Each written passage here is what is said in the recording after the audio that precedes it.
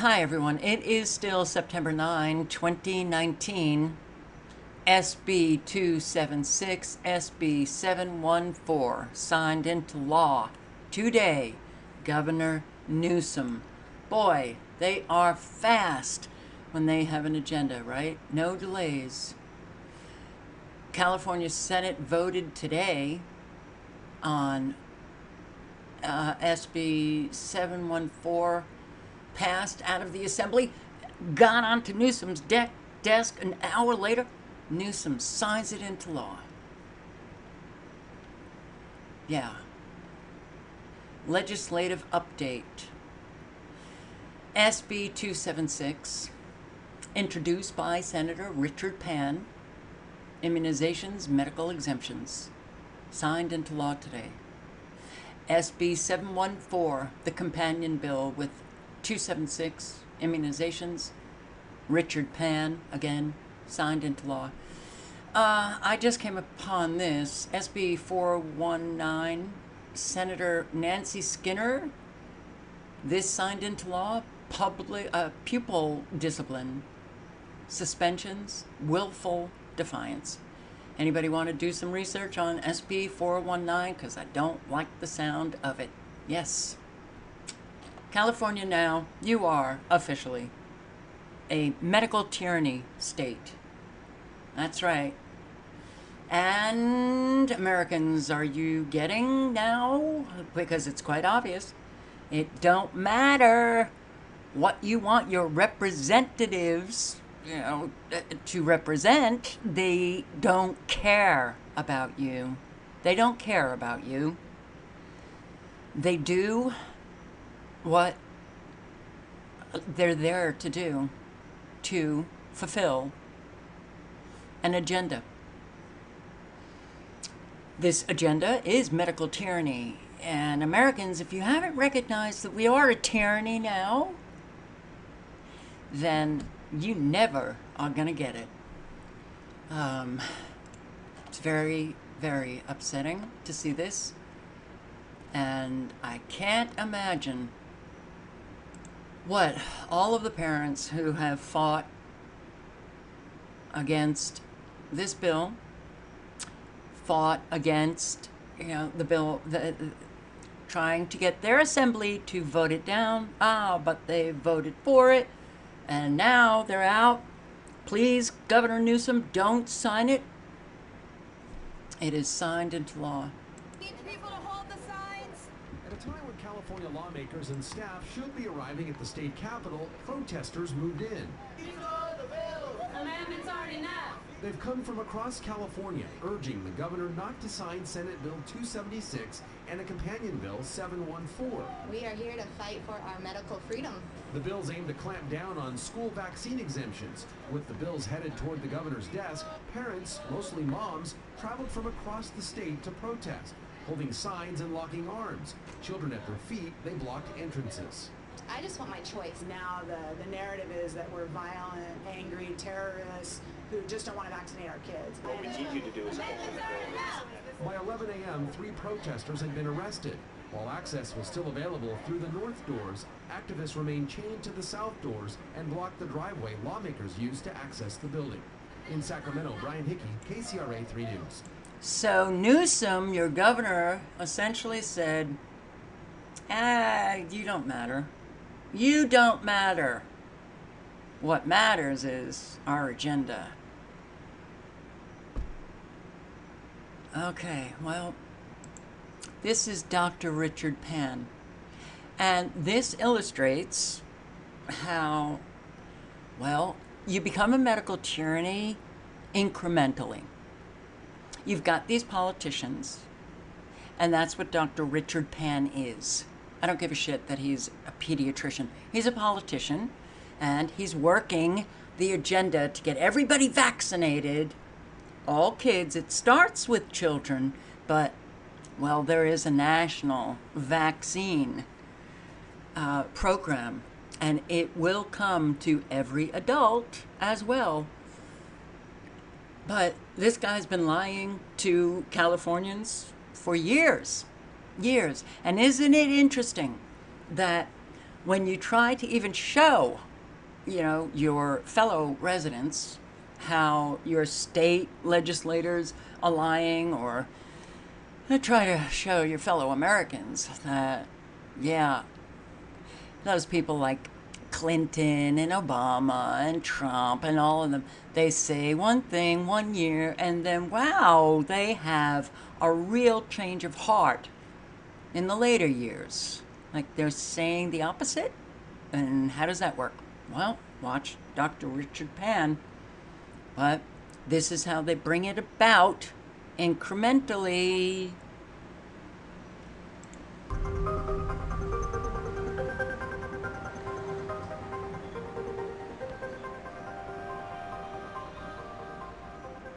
This bill will provide accurate medical information to parents who are considering exempting their children from vaccinations and certainly does not take that choice away from them. Someone decides still vaccine's not for them, that's fine. You know, that's their decision. We're not telling them they can't have that decision. And so for those uh, patients, uh, most likely it's like, okay, well, we had the discussion. I've made my decision. I know we've talked about it. Turn in the, you know, sign the form, turn it in. I've decided not to vaccinate my children. I've had patients like that in my own practice.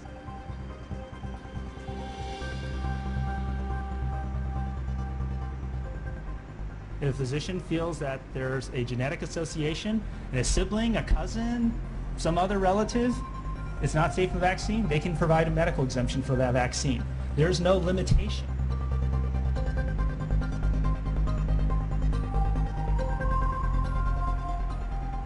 SB 276 restores integrity to medical exemptions and gives state and county health officers the authority to invalidate inappropriate exemptions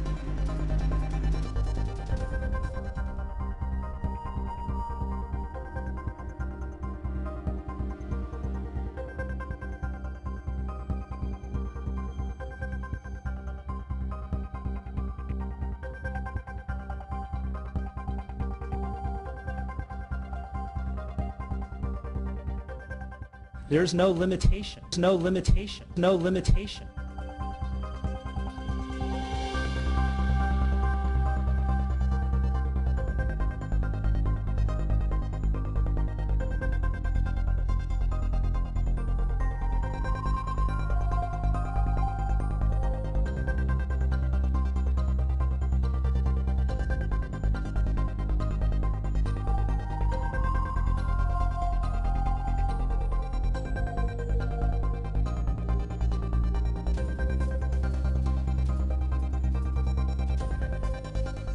Physician writes a note to the school saying that there is what's the reason, duration, which could be indefinite, could be forever if that's an ongoing condition, and they sign it, and the, and the child now has a medical exemption. It is very straightforward, uh, very simple.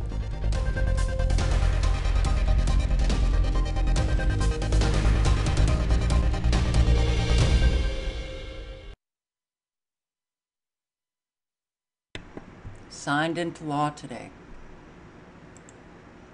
Listen to this. Thank you so very much, uh, Chair Woods and members, and uh, really appreciate this opportunity to speak to you today and to present SB 276, the bill that is necessary to protect the safety of our children. Thank you for calling Community Health Center. All of our care team representatives are currently busy helping other Community Health Center speaking. I want to be sure every child who needs a medical exemption gets one. That is the part of the purpose of this bill. Be sure every child who needs a medical exemption will get one. Uh, hi, we just moved them out of state and Uh-huh. are trying to enroll in school, but they're saying we need a complete immunization record or a medical exemption. And my son hasn't been vaccinated since he was 12 months because he had an anaphylactic reaction, and we had a personal belief exemption where we used to live. But I guess those aren't accepted here. Uh, Can we make an appointment to get a medical exemption? Unfortunately, at our office, we wouldn't we wouldn't do that for you. Um, no, we don't do, our doctors don't do that. So even if my child had a severe reaction, you guys do not write them for any reason? Yeah, correct. Well, this is not going to be the practice. Uh-huh. But don't they say that if a child has anaphylaxis, that's a valid reason to write a medical exemption? Right, but our doctors do not write medical exemptions. No, I'm sorry. No. So we have a strict rule that's by our providers in this office specifically that all of the children here are um, immunized without exception.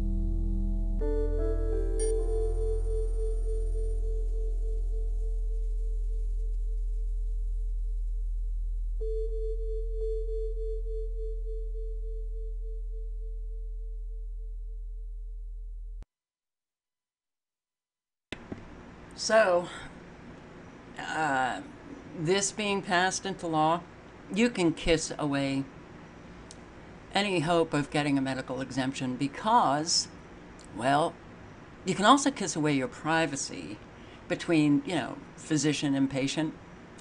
Government, government is now, they're the top boss.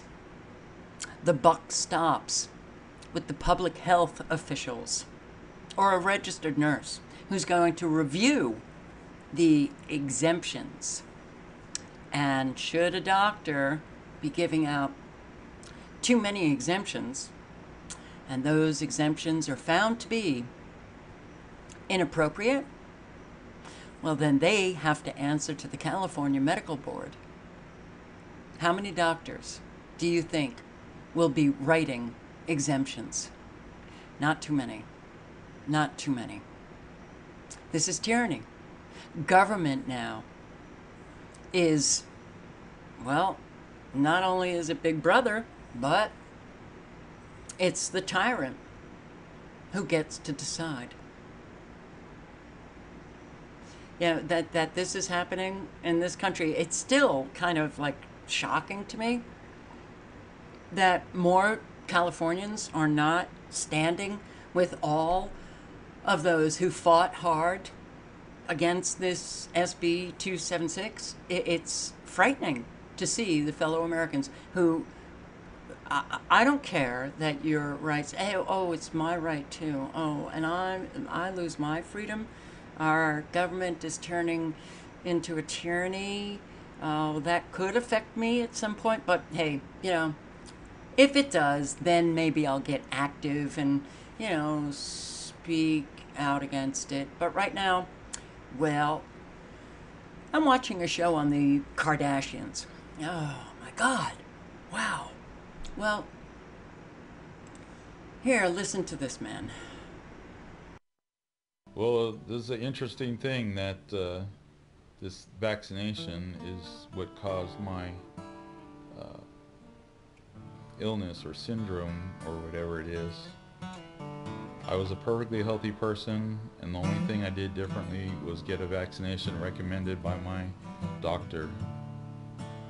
And now that I have this disease or syndrome or whatever the heck it is, this paralysis, this inability to have any quality of life,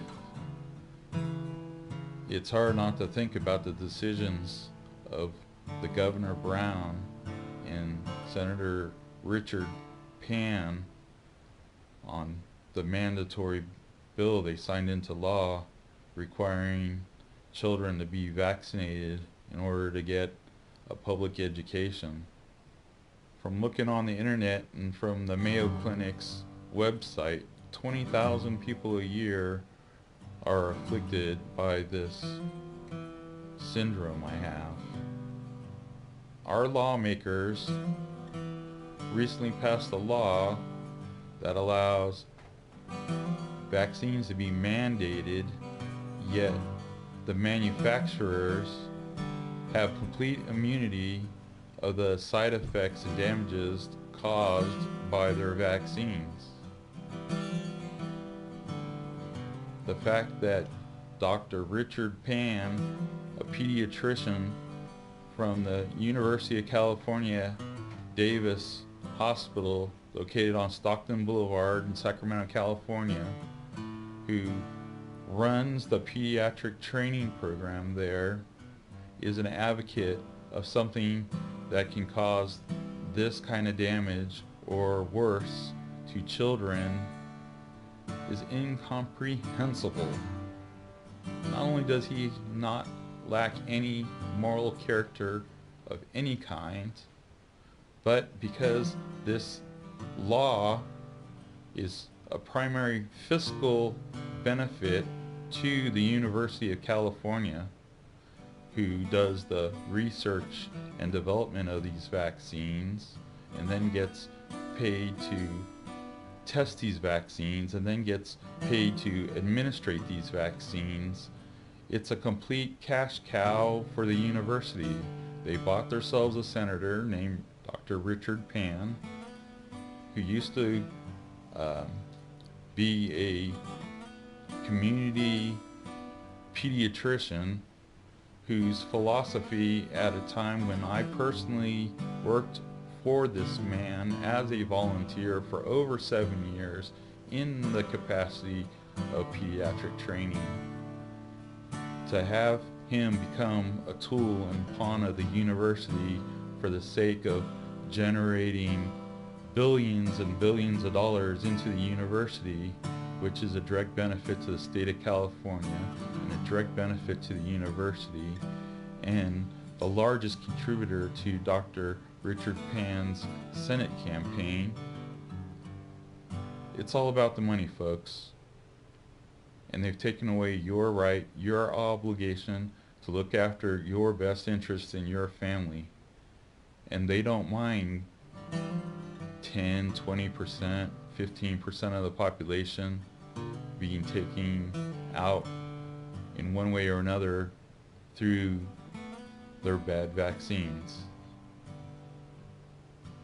It's time for people to exercise their choice as an American to have the say over whether or not the government can inject a foreign substance into you without any repercussions at all is as most un-American and unpatriotic as anyone can be, in my humble opinion. And So, even hate speech, man, these people are a piece of work. Tonight, Senator Dr. Richard Pan hosted various groups with the goal of bringing the community together. Now, Dr. Pan has been the target of threats before over his stance on vaccination requirements. Fox 40's Sincere Tonsel was at tonight's forum and joins us live from Sacramento. Good evening, Sincere. Good evening. Now, parents are saying that this senator who's interested in pushing tolerance in the public discourse should start by cleaning up his own Facebook page. What can we do as ordinary people? It was meant to be an evening all about words, a forum on how hate speech damages society. But his host, Senator and Dr. Richard Pan, couldn't have guessed these words would be among them. It just seems extremely hypocritical. When we're talking about hate speech, um, it's a very interesting uh, thing for him to be talking about because if you actually go to his Facebook page, um, you will just see these really hateful comments, people telling us um, that they're going to kill our children in front of us. The us here?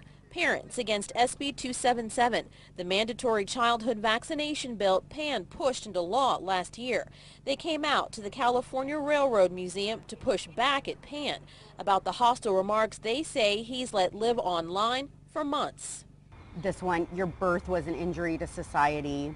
I will be posting your home address as well as personal info. Enjoy. Those are just some of the messages this group says they've seen go undeleted since the governor signed SB 277. It was a debate that brought in death threats to Pan then. Now, yeah, like this one, I, I just wish anti-vaxxers would die. My, my oldest daughter, Ella, um, was injured by the Prevnar vaccine. Kim McCauley is suing the federal government through the National Vaccine Injury Compensation Program about the reactive airway disease Ella has now. Vaccines are bad. They could get you paralyzed like I did. My, my son, uh, at 17 months old, he had a vaccine injury. He has vaccine-induced transverse myelitis. So, you know, vaccines are, are my son, uh, at 17 months old, he had a vaccine injury. He has vaccine-induced transverse myelitis. So, you know, vaccines are, are reprogramming your immune system. Well, his immune system got confused, attacked his spinal cord, and did permanent damage. These families agree to disagree with vaccine supporters, but say the debate shouldn't be threatening. That are concerned about some of the speech you've allowed to exist on your senatorial Facebook page that, you know, is kill the vaxxers and things like that. And they don't understand why you're not pulling that stuff down. Well, extreme, extremist speech is concerning. Trying to, trying to patrol the, uh, a, a social media account, if you've ever tried doing that, is, is very challenging. Pan went on to say he was unaware of any hate speech on his page. Kim McCauley maintains this is just one screen capture proving a death threat lobbed at anti-vaxxers was on the senator's page at 9.50 a.m. Tuesday. Now, parents say many of the comments that they screen captured have actually been deleted as of this afternoon. Reporting live in Sacramento, Sincere Tonsel, Fox 40 News. Boy, so Richard Pan got to it and cleaned up his Facebook page. Wow. They've been deleted. But it was so hard, you know, to manage a social media page. You don't have any assistance, Dr. Richard Pan, that could monitor your Facebook page?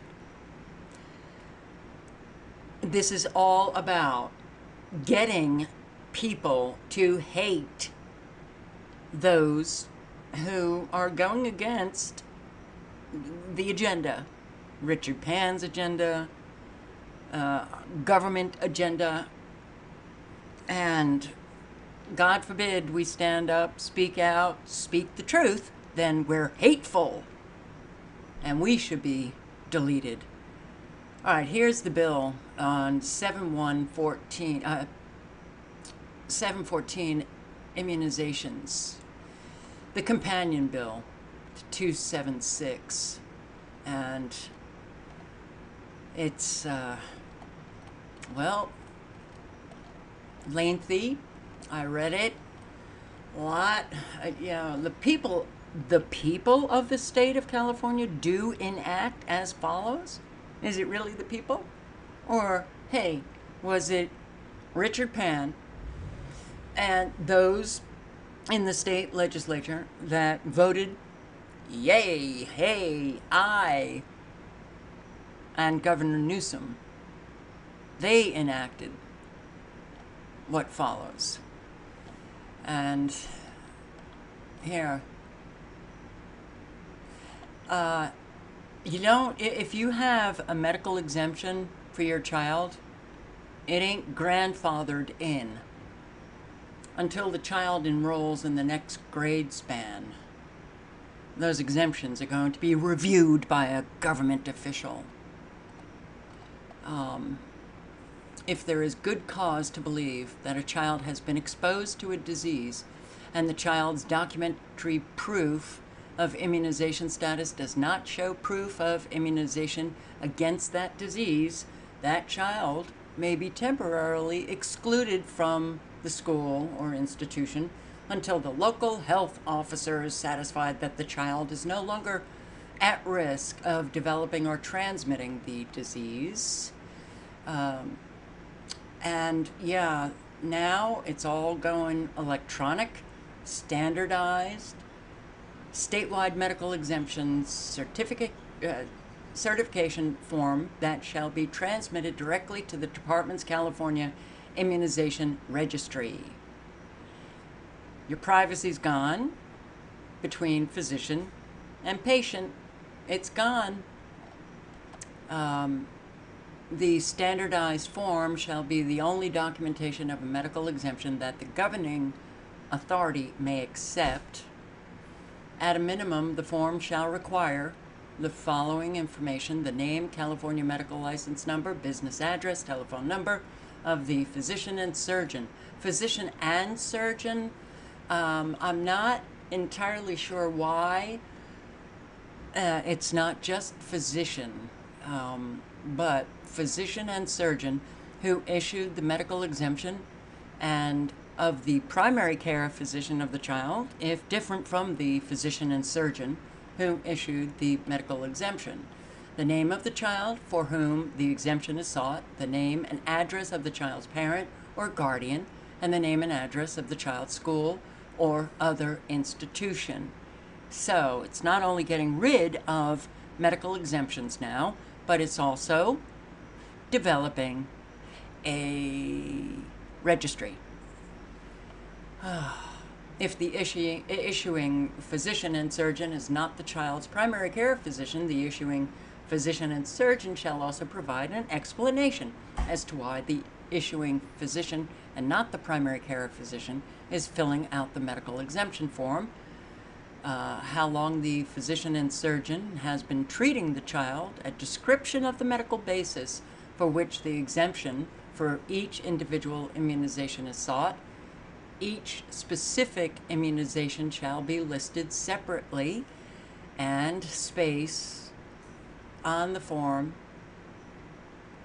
shall be provided to allow for the inclusion of descriptive information for each immunization for which the exemption is sought. Talk about placing a really heavy burden on physicians to write these exemptions now. And you are going to find it's it's I can't imagine uh, with this signed into law, I can't imagine doctors who will have the guts, the courage, and doctors who will put up with having to list descriptive information for each immunization for which the exemption is sought. Uh, whether the medical exemption is permanent or temporary, including the date upon which a temporary medical exemption will expire, a temporary ex- exemption shall not exceed one year. All medical exemptions shall not extend beyond the grade span. So you then have to go and get repeated medical exemptions authorization for the department to contact the issuing physician and surgeon for purposes of this section and for the release of records related to the medical exemption to the department, the Medical Board of California, the Osteopathic Medical Board of California, a certification by the issuing physician and surgeon that the statements and information contained in the form are, uh, and the form are true, accurate, and complete I guess they took out under the penalty of perjury, which means jailing physicians. Uh, this, I've never seen legislation like this. It almost looks like a draft, um, and they're cutting out certain aspects of the original that you might want to check into. Uh, issuing physician and surgeon shall not charge for either of the following a physical examination related to the renewal of a temporary medical exemption? Are you kidding? So the government is not only uh, presenting a tremendous burden on physicians to fill out these forms, threatening physicians. If they do, if you do sign a medical exemption, we may come after you, and oh, you may get suspensions, we're going to um, file complaints with the medical board in California, but you can't charge for physical examinations related to the renewal of a temporary medical exemption? How many physicians do you know are going to be spending time giving a physical exam- examination for, well, a renewal of a medical exemption when they can't even charge for their time? Really? Wow. Okay. Uh, I, the reason why I did this was physician and surgeon. What the hell? All right. Uh, January 1, 2021, the department shall create a standardized system to monitor immunization levels in schools and institutions and to monitor patterns of unusually high exemption form submissions by a particular physician and surgeon a threat right there. Right there. Department at a minimum shall annually review immunization reports from all schools and institutions in order to identify medical exemption forms submitted to the department. Because physicians can't be trusted. Neither can parents. Only government now. Huh. Only government can be trusted? Oof. A clinically trained immunization department staff member who is either a physician and surgeon or a registered nurse shall review all medical exemptions from any of the following. A registered nurse? Really? Not even a doctor is going to be reviewing medical exemptions signed by a doctor. That registered nurse now has power over doctors. And yeah, schools or institutions uh, with an overall immunization rate of less than 95%. If you have submitted five or more medical exemptions in a calendar year, beginning January 1, 2020, oh, forget about it. The government's going to be on your case, doctor. All right. Uh, look, I will link below to everything. You can read up on all of these threats and and uh, yeah, government tyranny now uh, taking place. And yeah, you can appeal, but your child will be suspended from school uh, unless you get that child up to date with the CDC schedule. You can appeal, but do you really think your appeal are people going to actually win? If the department determines that a physician's and surgeon's practice is contributing to a public health risk in one or more communities, the department shall report the physician and surgeon to the Medical Board of California or the Osteopathic Medical Board of California as appropriate. All links are below. All links are below. But I think more and more are getting rather pissed at what truly is tyranny. It's tyranny, guys. It's tyranny. No more freedom. Your rights are being squashed. We've got tyranny here in the good old US of A. Yes, the beacon of hope. Come here for your freedom and live how you want to live. It's gone. It's gone.